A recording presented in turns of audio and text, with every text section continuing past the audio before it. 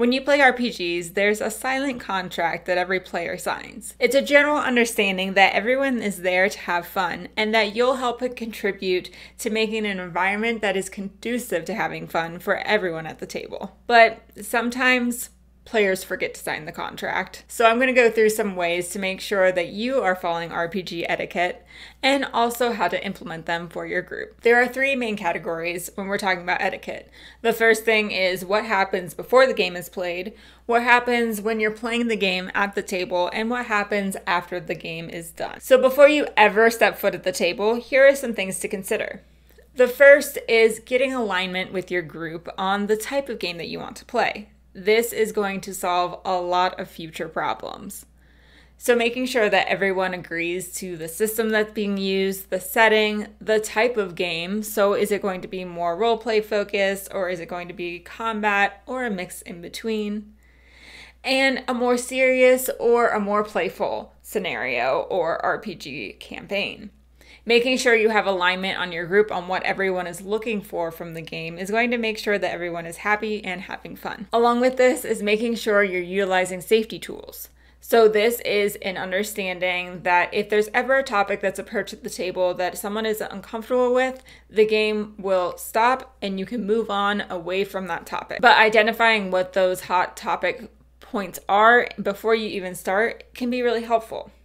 There are some resources in the description if you're looking on ways to implement safety tools. The next thing you would think that I wouldn't have to mention, but I do, and it's to make sure you have good hygiene. So if you're in person or even if you're online, but most importantly, if you're in person and you haven't showered in five days, maybe you should reconsider. Be mindful of everyone else at the table and make sure that you have good hygiene. Something else to consider is making sure that you're taking turns to pay for snacks. It can be expensive if you guys are getting together every week. So make sure that you have someone that is going to be bringing the snacks and that you're taking turns. This one is going to help immensely when you're actually playing the game, and that is getting to know your character. So, what spells or powers or skills do you heavily rely on as your character? Being able to have a page number or just know the spell is going to be a lot more helpful when you're actually playing the game and help everyone make sure the story is moving forward. So, you're not pausing every five seconds to look up a rule.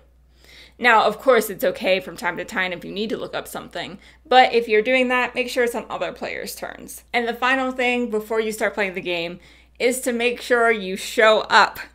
A no call, no show is basically the worst thing.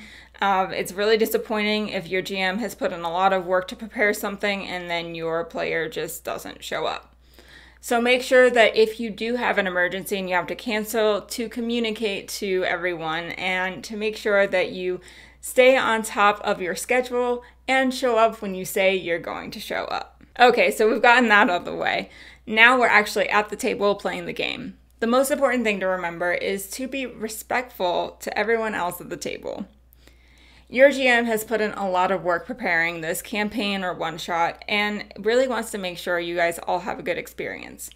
So that means when they're describing things or when they're trying to set up a certain part in the story that you're not interrupting them. You give them the opportunity to explain what's going on and make sure that they get a fair chance to really set up the story that they want to play with you. And that goes for other players too. If it's their turn and they're doing something really cool, don't try and take the, the spotlight away from them and don't try to interrupt and be rude and not listen. And this goes kind of naturally into sharing the spotlight. So making sure that even if you're really excited about different things, that you give everyone equal chance to participate and share their ideas making sure that you're not always the person that leads things or not always the person that goes after things first. Giving everyone a fair chance to engage with the story and participate is going to be a lot more fun for everyone. Some of the other things to consider is just using basic manners. Uh, saying thank you and please is something that is just courtesy and nice to have. Also, make sure your group is aligned on if technology and cell phones is okay at the table we all have complicated lives, and sometimes people need their cell phones for various reasons. But having a general rule of no phones at the table unless absolutely necessary is, I find, a good rule to have Just make sure your group is all aligned and you're good to go. Also, when you're at the table, be mindful of how much space you're taking up. If you're someone that has a bunch of different sheets for their characters and a rule book and different pencils and everything scattered everywhere and dice flying everywhere, it's really distracting and can take away from other people at the table. So make sure you contain your space a little bit and be mindful of others. Next, it's important to let players play their own characters. So if you find yourself saying, you should do this, or you shouldn't have done this, you should do this instead, that's not very productive. A role playing game is something collaborative and lets everyone have their own chance at, at participating in the story. So don't control other people's characters and let them make their own decisions. The other thing that's really important at the table is making sure that you put in effort and are engaged. So if you're constantly distracted and talking about random things that happen during the week, that's not really the place for that to happen. Sure, it can happen at the beginning of the session or at the end as you're catching up with everyone, but during the gameplay, try to remain focused and really engage with the story make an effort to try and participate and make sure that you're trying different things and collaborating with one another. Next, be careful how you approach rule discrepancies. Ultimately, the GM has the final say on how a rule should be played.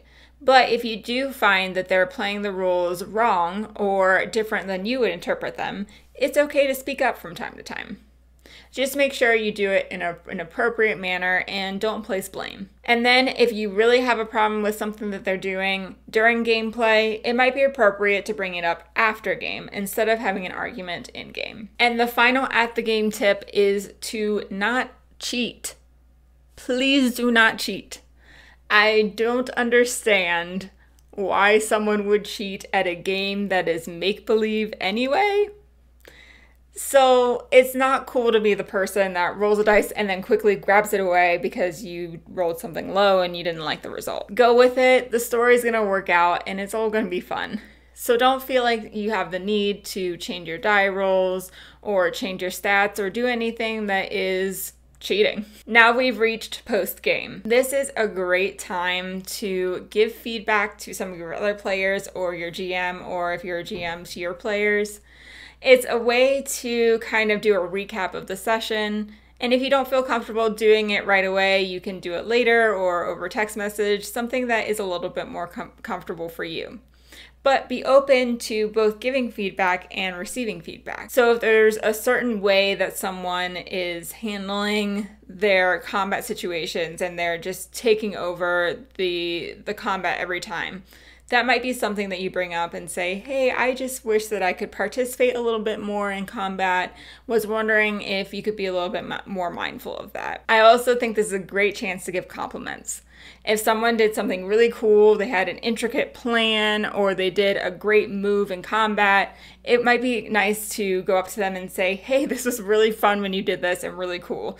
It made for a great time at the table or if they're super good at role playing, saying, I really appreciate how you were role playing your character. It was super interesting and it got me to really roleplay my character too. So thank you for that. And speaking of thank yous, it would be great if you thanked all your players at the table and your GM just to be sure that they know you appreciate the time that they take to play games with you. In addition, you can always give some ideas you have to the GM. If there's something that you would really like to explore more or you have an idea that would be fun for the campaign, don't hesitate to give them the ideas. Your GM might choose not to use them, but maybe they will. And finally, be prepared to schedule your next session. It's super important that there's some sort of consistency, and so being able to schedule a next session is going to make the whole process a lot easier. Overall, RPGs are a collaborative experience. Making sure that everyone is putting in a little bit of effort to have some RPG etiquette